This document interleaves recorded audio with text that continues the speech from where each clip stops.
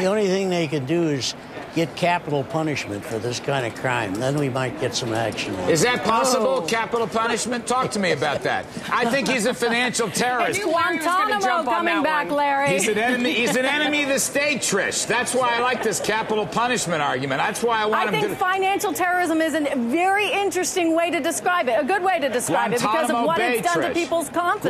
Guantanamo Bay, Trish. Then he'll open up some more. You wait and see.